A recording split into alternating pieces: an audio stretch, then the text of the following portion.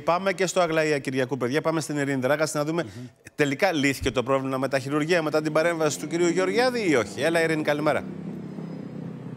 Καλημέρα από το Αγλαία Κυριακού. Σήμερα λοιπόν λειτουργούν κανονικά όλα τα τακτικά προγραμματισμένα χειρουργία μετά από αυτήν την προσωρινή λύση που ε, ανακοίνωσε και ο Υπουργός Παιδείας και η πρώτη γενομική περιφέρεια. Έχουμε λοιπόν εδώ αυτή τη στιγμή μία αναισθησιολόγο από το Πέδωνο Αγία Σοφία που θα κάθεται για 15 μέρες. Αύριο θα έρθει από την Κόρινθο ο Διευθυντής Αναισθησιολογίας, ο οποίος και αυτός περίπου θα κάτσει εδώ για ένα μήνα. Ενώ από το Πέδον Πεντέλης τρεις αναισθησιολόγοι εναλλάξει για τρεις εφημερίες. Αυτή είναι η προσωρινή λύση.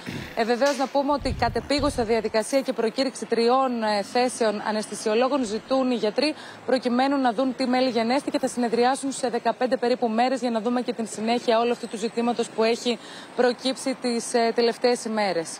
Ευχαριστούμε, Ειρήνη. Ειρήνη, πάρα, πάρα πολύ. Καλή η προσωρινή λύση, αρκεί να, να πάμε και σε μόνιμη κατάσταση. Γιατί ήταν χίλια τα χειρουργία. Παγκόσμια ειρήνη κτλ. Ε, τι, δεν... Να μην πεινάνε τα παιδάκια στον κόσμο. Ναι, Όλα, αυτά. όλα αυτά να γίνουν. Ναι. Βέβαια. Α ξεκινήσουμε με τις προσλήψεις.